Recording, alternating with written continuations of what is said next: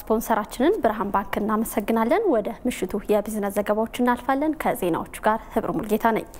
የምርቶች ብሔራዊ የጥራት ፖሊሲ መዘጋጀቱ ወደ ሀገር ውስጥ የሚገቡትንም ሆነ ወደ ውጭ የሚላኩ የኤክስፖርት ምርቶችን ጥራት ለመቆጣጠር ትልቅ ፋይዳ እንደሚኖረው የንግድና ቀጠናዊ ትስስር ሚኒስቴር አስታወቀ። ሚኒስቴር መስሪያ ቤቱ በምርቶች ብሔራዊ ጥራት ፖሊሲ ረቂቅ ሰነድ ላይ ከባለድርሻ አካላት ጋር ውይይት አድርጓል። ወይንሸት ደጀኔ ኢትዮጵያ ከዚህ ቀደም ብሔራዊ ጥራት ፖሊሲ አልነበራትም። ብሔራዊ የጥራት መሰረተ ልማት ፕሮግራምን ተግባራዊ በማድረግም ዓለም አቀፋዊ ደረጃ ያሟላ ምርትና አገልግሎት ተደራሽ ለማድረግ የንግድና ቀጠናዊ ትስስር ሚኒስቴር በተለያዩ አካላት ተሳትፎ በተዘጋጀ የጥራት ፖሊሲ ረቂቅ ሰነድ ላይ ከባለድርሻ አካላት ጋር ውይይት አካሂዷል። ፖሊሲው ተግባራዊ ሲደረግ በሀገሪቱ ኢኮኖሚ እድገት ላይ ከፍተኛ ሚና እንደሚኖረው የንግድና ቀጠናዊ ትስስር ሚኒስትር ዴኤታ አቶ እንዳለው መኮንን ገልጸው መንግስት ብሔራዊ የጥራት መሰረተ ልማት ፕሮግራምን ተግባራዊ ለማድረግ ሁለት ቢሊዮን ብር መድቦ እየተንቀሳቀሰ ይገኛል ብለዋል። የህንፃ ግንባታ እየገነባ ነው። አንድ ካምፓስ ወይም አንድ ቦታ ላይ ማለት ነው። እነዚህ አራት በተለይ technical infrastructure የሚባሉት አራቱን መሰረታዊ ተቋማት ይይዛል። የደረጃዎች ኢንስቲትዩትን፣ የአክሬዲቴሽን ተቋሙን፣ የሜትሮሎጂ ኢንስቲትዩትን እና የኢትዮጵያ ተስማሚነት ምዘና ድርጅት ተብለው አራቱ የ technical infrastructure ናቸው። ይህ በተሟላ ሁኔታ ሲኖር አሁን የምናያቸው ተቋማት world class ከአፍሪካም በጣም በደረጃ አንድ ሁለት ሶስት ደረጃ የሚያስብለንን እንደገና ደግሞ ኢኮኖሚውን በደንብ መደገፍ የሚችሉ የኛ ምንም አይነት በጣም ትልቅ የሚባል ማኑፋክቸሪንግ ኢንዱስትሪ መካከለኛ የሚባል በአነስተኛም በየትኛውም ደረጃ ያለ ማምረቻ ተቋም መደገፍ የሚችሉበት ደረጃ ማድረስ ነው። እንግዲህ የብሔራዊ ጥራት ፖሊሲ ወደ ትግበራ ሲገባ የምርት ተፈላጊነትና ተደራሽነትን ያሰፋል ያሉት በንግድና ቀጠናዊ ትስስር ሚኒስቴር የጥራትና መሰረተ ልማት ተቋማት ክትትልና ድጋፍ ዳይሬክተር አቶ ሳሙኤል ረቂቅ ሰነዱ ለኢኮኖሚ ዘርፍ ብዙ ጠቀሜታ አለውም ብለዋል። በዓለም አቀፍ ደረጃ በምርት እና በአገልግሎት ተወዳዳሪነታችንን በከፍተኛ ሁኔታ ያሳድገዋል። የውጭ ምንዛሪ በማሳደግ የውጭ ምንዛሪ ገቢያችንን በማሳደግም በጣም ከፍተኛ የሆነ አዎንታዊ ሚና ይኖረዋል። ለሀገር ውስጥ በሀገር ውስጥ የሚቀርቡ ለተጠቃሚዎች በሀገር ውስጥ የሚቀርቡ ምርትና አገልግሎቶችም የጥራት ደረጃቸውን ለመወሰንና ጥራት ያለው አገልግሎትና ምርት ለማቅረቡ በጣም ከፍተኛ ፋይዳ ይኖረዋል። የረቂቅ ሰነዱ ዝግጅት በርካታ አካላትን ተሳታፊ ማድረጉ ለግሉ ዘርፍ የተሰጠውን ትኩረት እንደሚያሳይም ተሳታፊዎቹ ገልጸው ቅንጅታዊ አሰራር እንዲኖር ያግዛልም ብለዋል። ለ private sector ኡ አዳዲስ ስራ የማምጣት እድልን ይዞ ይመጣል። ከዚህ ጋር ተያይዞ ህብረተሰቡ ከጥራት አንጻር ጥራታቸውን የጠበቁ ምርት አገልግሎት እንዲያገኝ፣ ደህንነታቸው የተጠበቀ ምርቶች እና አገልግሎቶች እንዲያገኝ እንዲሁም አካባቢያችን የተጠበቀ እንዲሆን ከፍተኛ ሚና ይሰጣል። ጤና ስንሄድ ጤና ውስጥ ጥራት አለ። ኮንስትራክሽን ስንሄድ ኮንስትራክሽን ላይ ጥራት አለ። ግብርና ላይ ስንሄድ ግብርና ላይ ጥራት አለ። ስለዚህ ይህንን የሚያቀናጅ አጠቃላይ የጥራት ፖሊሲ መኖሩ አንደኛ integrated የሆነ work ወይም coordinated የሆነ ስራዎችን ያመጣል።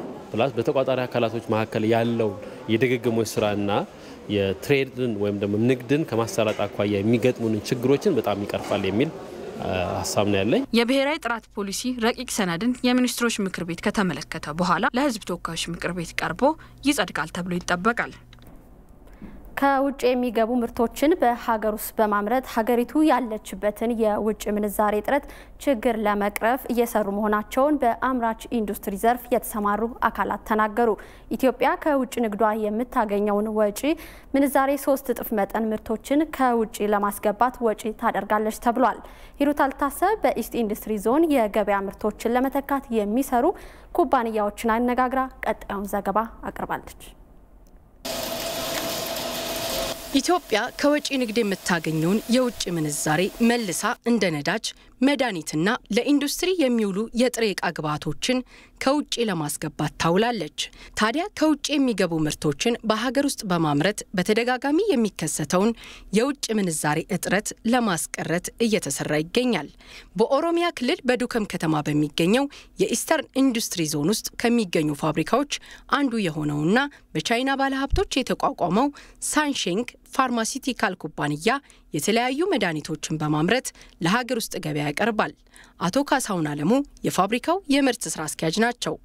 ያለን የምርት በእንክብል መልክ የሚወሰዱ ወይም በታብሌት መልክ የሚወሰዱ እንዲሁም ደግሞ በደም ስር የሚሰጡ እንዲሁም ደግሞ በጡንቻ የሚሰጡ የመርፌ መድኃኒቶችን እናመርታለን።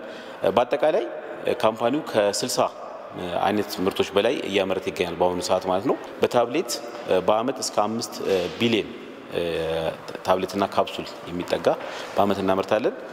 በ small volume ወይም ደግሞ በመርፌ የሚሰጡ መድኃኒቶች ደግሞ ያለው line በአመት እስከ 300 ሚሊዮን ampoules ለማምረት የሚያስችል capacity የመጀመሪያው phase፣ እንዲሁም በተጨማሪ በ large volume parenterals እስከ 10 ሚሊዮን bags በአመት የማምረት አቅም ይዞ የመጀመሪያ phase ኡን ይዞ ጀምሯል ማለት ነው። ፋብሪካው ኢትዮጵያ ለመድኃኒት ግዢ የምታወጣውን የውጭ ምንዛሬ የማስቀረት ብቻ ሳይሆን ለ pharmaceutical ዘርፉ ግብአት የሚሆኑ የጥሬ ዕቃ ምርቶችን በሀገር ውስጥ የማምረት እቅድ እንዳለው አቶ ካሳሁን ይናገራሉ። የኢትዮጵያ የመድኃኒት አቅርቦት ሁኔታ በአጠቃላይ ስናየው የ local manufacturers ከ15 እስከ 20 percent በላይ አይደርስም። ስለዚህ ይህንን በመጨመር ውስጥ ሀገር ውስጥ የሚመረተውን የመድኃኒት አይነት እንዲሁም ደግሞ ኢትዮጵያ የምትፈልገውን essential መድኃኒት የሚባሉቶችን መድኃኒቶችን መርጠን በማምረት ከውጭ የሚገባውን import substitute ለማድረግ ነው እየሰራ ያለ ነው ማለት። ስለዚህ አጠቃላይ እኛ የእኛ የማምረት ሁኔታ በአብዛኛው ለ pharmaceutical company almost መቶ percent በሚባል ደረጃ ከውጭ ነው ጥሬ ዕቃ የሚመጣው። ከውጭ የሚመጣውንም የጥሬ ዕቃ አቅርቦት ሁኔታ ለማስተካከል ያው በሶስተኛ phase ይህን አቅዶ የሚንቀሳቀስ company ነው ማለት ነው። ሌላኛው በኢስተርን ኢንዱስትሪ ዞን ውስጥ የሚገኘውና የአርማታ ብረቶችን የሚያመርተው ኢስት ስቲል ኩባንያም ለግንባታ ግብአት ግዢ የሚወጣውን የውጭ ምንዛሬ በማዳን በኩል አስተዋጽኦ እያበረከተ ይገኛል።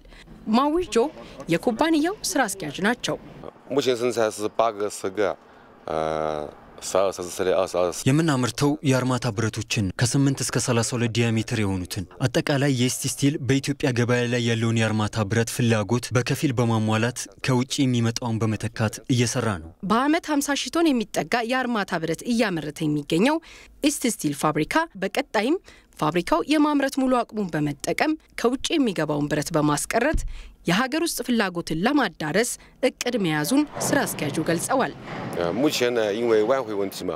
ወደፊት ፋብሪካው ሙሉ አቅሙን ተጠቅሞ በማምረት ሙሉ በሙሉ የሀገር ውስጥ ገበያ ፍላጎትን ሸፍኖ የመስራት እቅድ አለ። በ2013 ዓ ም የወጣ አንድ መረጃ እንደሚያመላክተው ከሆነ ኢትዮጵያ 14 ቢሊዮን ዶላር የሚያወጡ ምርቶችን ከውጭ የምታስገባ ሲሆን 3.4 ቢሊዮን ዶላር የሚያወጡ ምርቶችን ብቻ ነው ወደ ውጭ ገበያ የምትልከው። ይህም በሀገሪቱ የወጪና ገቢ ንግድ አለመጣጣሙን አመላካሽ ሲሆን እንደ ሳንሼንግ ፋርማሲውቲካልና ኢስት ስቲል ሁሉ ሌሎች ፋብሪካዎችም ከውጭ የሚገቡ ምርቶችን ተክተው እንዲያመርቱ መንግስት እንደሚያበረታታ ነው የሚያስታውቀው። የፌዴራል ዋና ኦዲተርና የፋይናንስ ደህንነት አገልግሎት የኢኮኖሚና የፋይናንስ ወንጀሎችን በጋራ ለመቆጣጠር ያስችላል የተባለውን የመግባቢያ ስምምነት ተፈራረመ። ስምምነቱ ተቋማቱ በጋራ ለመስራት ወንጀል ነክ ግኝቶችን የክትትልና የማጣራት ስራ ለመስራት ያስችላል ተብሏል። የፌዴራል ዋና ኦዲተር ምክትል ዋና ዳይሬክተር ወይዘሮ መሰረት ዳምጤ ስምምነቱ ጉዳዩ በመዘግየቱ ምክንያት ብዙ ነገሮች ሳይበላሹ መፍትሄ መስጠት የሚያስችል መሆኑን ገልጸዋል።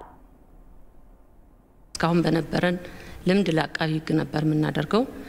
አሁን ግን ለፋይናንስ ደህንነት አገልግሎት ማድረጋችን የበለጠ ነገሩ ገና ስር ሳይሰድ በአጭሩ እንዲቋጭ ያደርጋል። ምንም እንኳን ወንጀልን ሙሉ በሙሉ ማጥፋት እንኳ ባይቻልም ይቀንሳል ብለን እናስባለን። እኛ በምንሰራቸው ኦዲቶች ብዙ የምናያቸው አመላካች ነገሮች አሉ።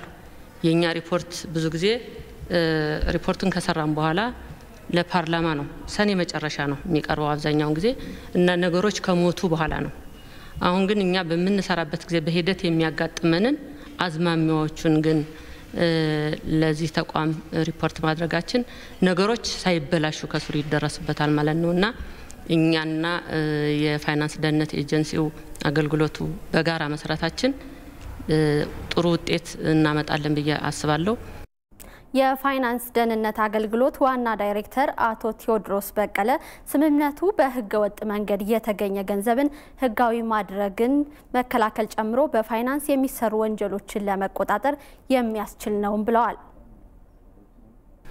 በህገ ወጥ መንገድ የተገኘ ገንዘብን እሱን ህጋዊ ለማድረግ የሚደረገውን ጥረት መከላከል እሷ ላይ ዓለም አቀፍ ወንጀልም ስለሆነ ከሌሎች ልክ እንደኛ ካሉ የ financial intelligence unit ካቋቋሙ ሀገሮች ጋር በጋራ ሆነን የምንሰራው ስራ ነው።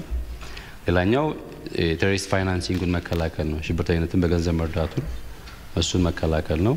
በሶስተኛ ደረጃ ደግሞ የተሰጠን በአዋጅ ተጨማሪ ስልጣን አለ። የጅምላ ጨራሽ መሳሪያዎችን በገንዘብ የነዛን ብዜት በገንዘብ መደገፍን እሱን መከላከል ነው። ሶስቱም ዓለም አቀፍ የሆኑ ወንጀሎች ስለሆኑ ከመቶ ስልሳ አራት ሀገራት ጋር ባለን ህብረት መረጃዎች የተቀያየርን እነዚህን ወንጀሎች የመከላከል የምናደርገው ያ ስልጣን የሰጠን እሱንም የሰራ ነው ላለፉት 12 ዓመታት። ሪፖርተራችን ቅድስ ማሞ እንደዘገበችው የፋይናንስ ደህንነት አገልግሎት ከፌዴራል ፖሊስ፣ ብሔራዊ መረጃና ደህንነት፣ የገቢዎች ሚኒስቴር፣ ኦዲተር ቦርድ ከመሳሰሉ ተቋማት ጋር ተመሳሳይ ስምምነት መፈራረሙም ይታወሳል።